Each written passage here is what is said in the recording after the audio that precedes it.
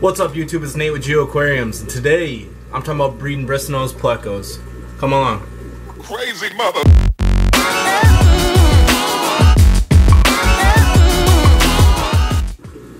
What's up YouTube? There's Odin. So today I want to talk to you guys about breeding bristlenose plecos. So this is the bare bottom 20 high. I'm fixing it up to do something with it special and I decided that I might as well set up a bristlenose pleco breeding tank. So right there you can see the male. So I guess step one would be to make sure you get a male and a female. A sexually mature male, as you can see, got the big tentacles on his nose. There's a good shot of him. Versus the female, which is now on the back glass, does not. So that's a really good comparison right there. So you can see the male on the left, female on the right. And as far as the ratio goes, and lots of things you want a trio, two females, one male. When it comes to plecos, it's actually better to have two males, as you can see, and one female.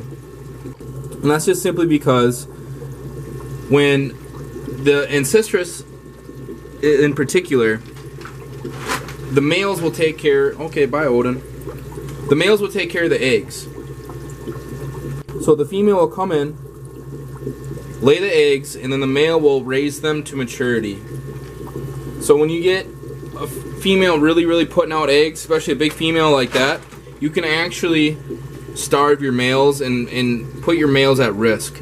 So it's just far better to use two males to one female and breed them that way. So as far as the tank, I want to take you along with what I do. So we have a bare 20 high here. And honestly, tank size doesn't really matter. If you, like, it does obviously for water quality, but I've accidentally bred this exact, these exact fish, one male, one female, in a 10 gallon in 66 degrees. Not even kidding you. And it worked. Like, I have them everywhere. Like, here's one of the babies. There's two more right there. Like, these things are just crazy. It's harder to get them to stop than it is to get them going, honestly. So yeah, two males, one female. Be your best bet. And bigger the tank, the better. If you're gonna be pulling babies, you could pull it away, pull it off in a 10 gallon. Just make sure you're doing your water changes. But they're really cool fish. I love the males. As you can see, the big tentacles there, they're freaking awesome. Alright, let's set up this tank. Alright, so when it comes to setting up a tank, I like to use rock. And what I try to do is I try to cross it like that so you get these pockets underneath. And they tend to really like laying up here in the corners where the rocks meet. So I use just a whole bunch of big flat rocks as you can see right there and then just crisscross them like that.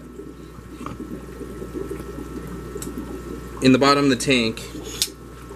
And it tends to do me pretty good so. Let's do one at each end so that way the males have two different hidey holes.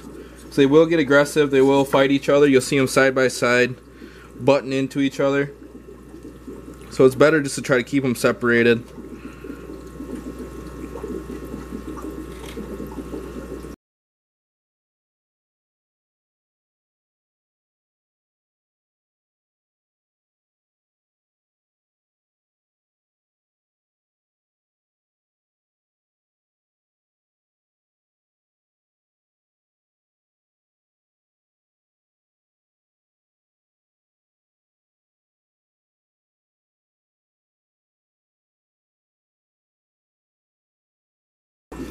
Alright, so the key elements now.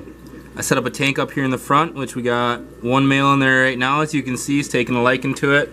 There's another little cave off here to the right. I put in the coconut cave just in case. I'm not really sure. We'll see. It'll be an experiment. Got the female right there. And then the other male is sitting back here in this pile of rocks that I got set up also. If we can look in there the reasoning for setting these up so they're all facing me, I like to be able to see in there. I like to be able to see if males are sitting on anything without having to be too invasive. And then also having them all facing the same direction. It keeps the males from looking at each other. So if the holes were pointed towards each other, they'd be able to see each other and it there's a possibility for aggression there. So having them all sit facing the same way, it's hopefully going to mitigate a little bit of that aggression, keep them from looking at each other, but then also make it much easier for me to look in there and see how things are going. So I'll keep you guys updated with this tank as we move forward. And then there will be a video coming out on this now empty tank here soon. So y'all stay tuned. Thank you for watching, and I'll catch y'all next time. Take care.